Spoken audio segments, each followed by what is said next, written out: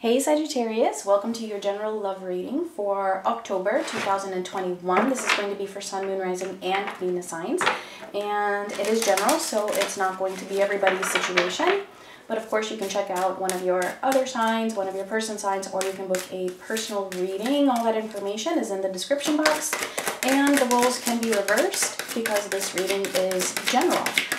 Alright, Sagittarius, what is going on for you? First half of October, we have differences. Alright. So, um, it could be that you are beginning to notice some differences that you are having with um, a particular person. Maybe there are some things that you are not agreeing on or just coming to this realization that maybe things just weren't or just aren't as you had expected or that there are more um, opposing views than you had initially thought or just kind of seeing things that you feel like um, almost like you know how can you make this work if you have so many differences? Let's see. Or maybe there are just some differences um, in it could even be in cultural issues in status in anything that might be serving as an obstacle at the moment or as a barrier for this connection. So let's see, Sagittarius, Sun, Moon, Rising, and Venus. First half of October, and I am doing a bit of a different spread this time around. So, um, recent past, we have the Seven of Pentacles. For your energy, Ten of Wands, as well as the Ten of Pentacles. For them, the Three of Swords, the Ace of Wands. Coming up in your energy here, we have the World. For them, we have Judgment. Ooh, okay, and a potential outcome here is the Two of Wands. All right. Why do I kind of get the sense that all fire signs have like a similar theme going on? Um, for October. So, Sagittarius. This is a situation where I feel like things were, again, it very similar to Leo in the past energy things, or was it Aries? I can't remember. But feeling like, you know, things were being put into place, things were being organized, a little bit of waiting for things to fully um, be resolved in order to just, you know, fully come together or you know for something here to happen for a particular result. Um, not sure if that happened because well you have the ten of wands um, and the ten of pentacles. So i feel like you just um, you wanted this commitment. I feel like you still want this commitment okay with a particular person but this whatever this waiting was i feel like that has exhausted you um, and you just kind of want to lay this down to rest. Like you're just kind of um, tired basically of of either waiting or of just whatever the challenges are. I feel like it's just too much for you to carry at the moment and it's like you just don't have the energy um, to continue in this direction, which would be why it's leading to this world like um, wanting to close out a chapter here. Again, I'm not convinced that you have um, that this is you fully letting it go. It could be, um, but with that Ten of Pentacles here, I feel like you know there is that part of you that still wants commitment, at least for now. Um, for your person, this this, this person is um, feeling hurt. They're in they're in a lot of pain here. Um, We'll see when we clarify. They also have the Ace of Wands. I feel like they. I feel like there's already like some kind of a conflict here or some kind of an energy that's building up maybe to an ending. Um, and so this person does want things to come back. They still have this passion for you. They still want this. So we'll see. We'll see. There's a major revelation though coming up for them like a wake-up call is the way that it's coming in. And for the potential outcome with this Two of Wands, I, I feel like, again, you know, it's kind of like things are at a crossroads. Um, a little bit of waiting here. Somebody can take control over the situation. I feel like there is some kind of a resolution here that is possible. It's just a matter of somebody actually acting on it. So let's clarify.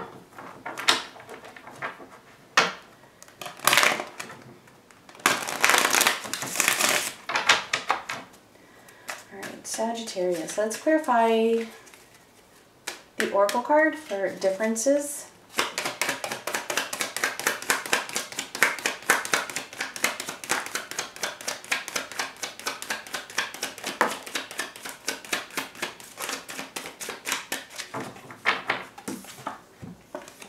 The Nine of Wands and the Five of Swords. All right, so these are differences that you're not very fond of.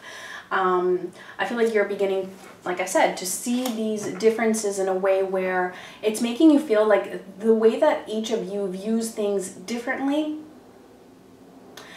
is actually a huge, huge challenge here. Like you just don't agree with the way that this person is either viewing something, handling something, communicating, whatever, whatever that is. Um, and so it's almost like it's like a little bit of this battle between the two of you. It doesn't necessarily mean that there's arguing and fighting. I just feel like each of you is kind of set in your own ways at the moment.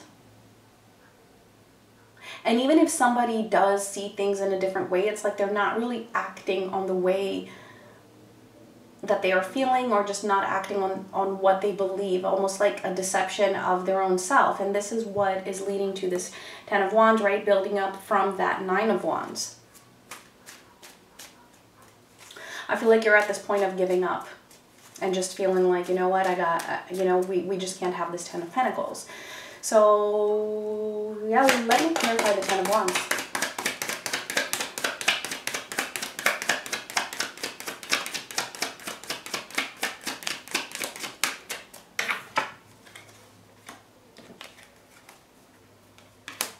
Six of Pentacles and the King of Cups. You've been giving to this um, connection, I feel, more than what this person has been giving, all right? With that Six of Pentacles, you're feeling like, you know, especially when it comes to emotions, um, not that the not that the other person doesn't have emotions for you. Um, obviously, if they didn't have emotions, they wouldn't be um, feeling this pain but I feel like you have been giving a lot more. You have actually what this is about is you I feel put in a lot of effort when it came to really trying to be the bigger person and really trying to keep your own emotions in check. Like you would, um, for example, you know, overlook certain things. Trying to keep your emotional balance for the sake of the relationship, for the sake of the other person, being very patient. And just not allowing yourself to to get angry, not allowing yourself to get um, resentful or not even resentful, but just not allowing yourself to lose control of your emotions just so that you can give them the time and space to like fully resolve this. And I feel like that wasn't really met um, by the other person. Like the other person just didn't really um,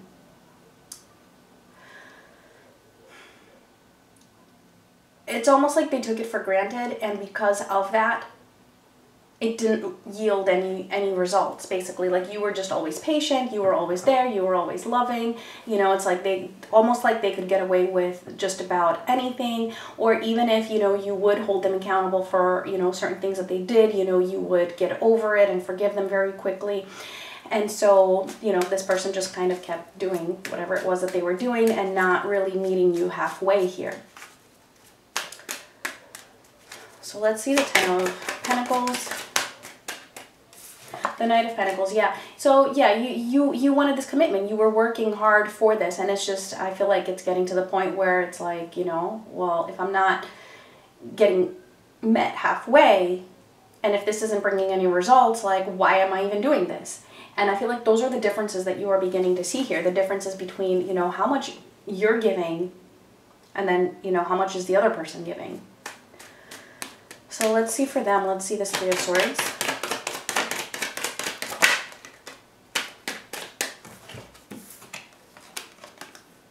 The Queen of Pentacles and the Six of Wands.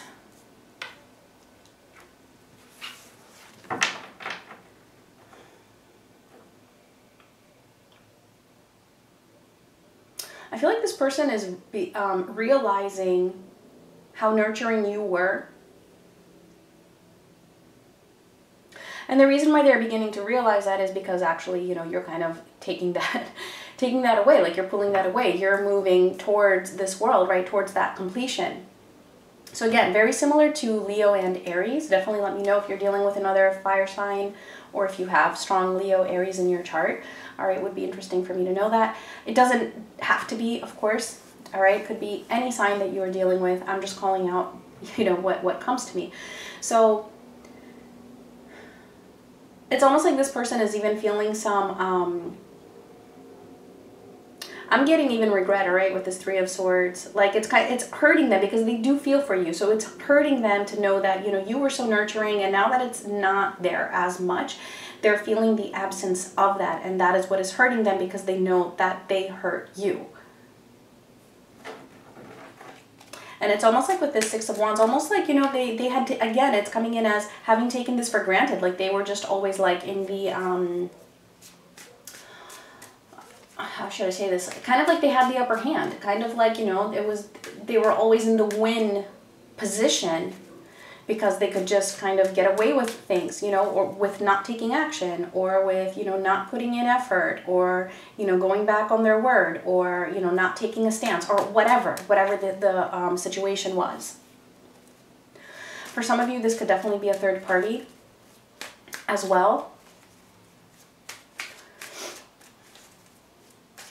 That is, um, that is in this person's life, okay, which would also be creating a lot of pain for them. Let's see this Ace of Wands.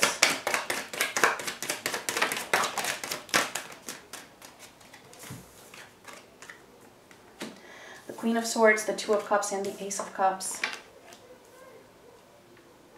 Yeah, see, so this person is having clarity, right? Um, having clarity on what it is that they want and that's and i feel like that is building. Like for you the momentum is leading you towards this ending of a chapter or like some kind of a resolution or a completion of whatever it was that you were um, doing all right which i already said what it was. Um, and for them the momentum is building in order for them to reach this revelation okay? So there's this clarity when it comes to the love that they feel for you and i feel like this is something that they were taken for granted and they're seeing it now because because you are becoming like this queen of swords pulling that energy away being a little bit more cutting not being as warm not being as nurturing not being as forgiving not being as loving. And when i say forgiving i mean i mean you know just not not being a doormat basically not just allowing them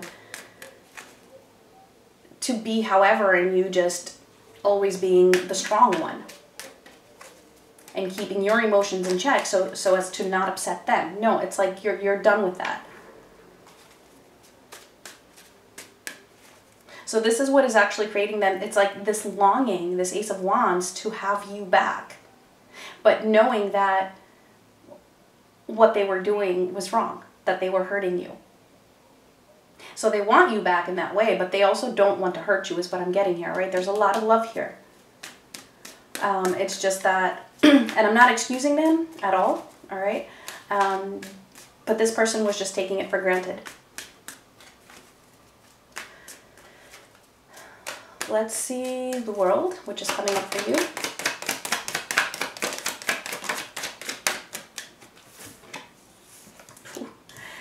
The Ten of Swords and the Five of Pentacles. All right, Saji. Um, yeah, you know, it's hurting you. It's like you're doing this with a very heavy heart. Um, you don't want there to be an ending, but it's almost like you feel like there needs to be some kind of an ending to this, to what it is that you are doing at least. Like, a, it has to stop. And it hurts you because you, I feel like you give to this person. You know, you love giving to this person because that's the type of person that you are. But you're realizing that, you know, you just can't continue on in this way if you're not also receiving what it is that you need as well. And if this person is not giving to you um, fairly. And so, yeah, you know, it might lead a little bit to you feeling like this is a loss. Um, but I feel like overall, you know, this is something that is needed for you, for your own sake, for your own integrity. Um, but and also it's helping this person to have this major wake-up call. So let's see judgment. And you're not doing it for them to have this wake-up call.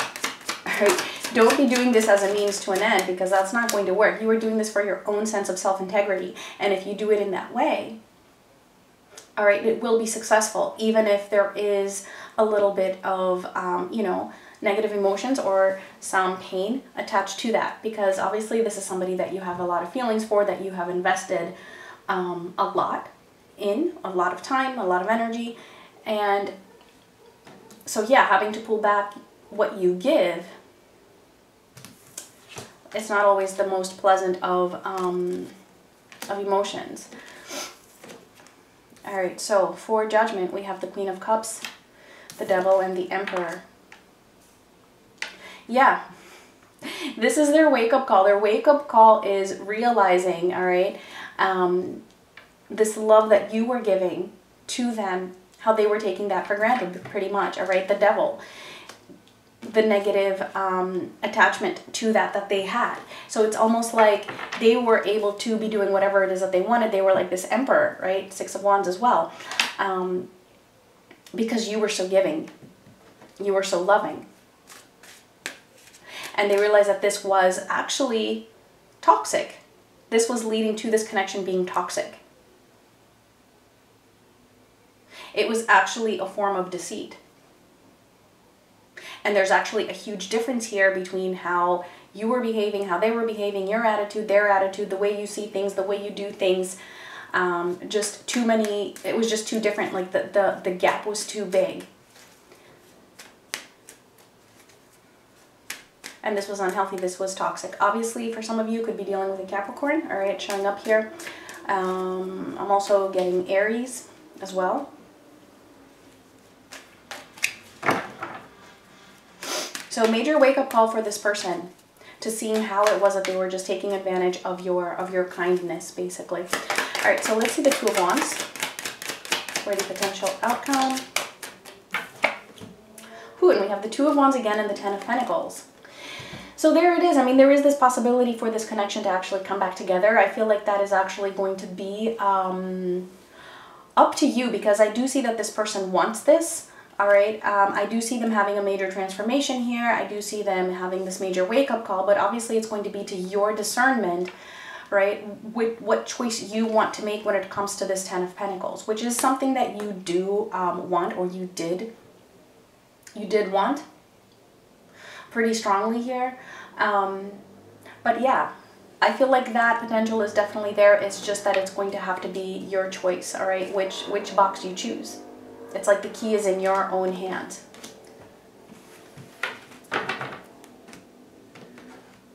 All right, Sagittarius, so if this resonated, let's see the final message for you. And please do give me a thumbs up if it did.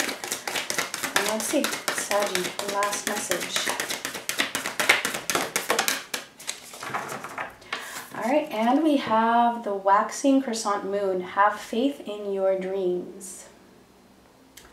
So yeah, I have nothing to say about that. Have faith in your dreams, but don't let people walk all over you, basically. All right, Sagittarius, those were your messages. Thank you so much for watching. Much love.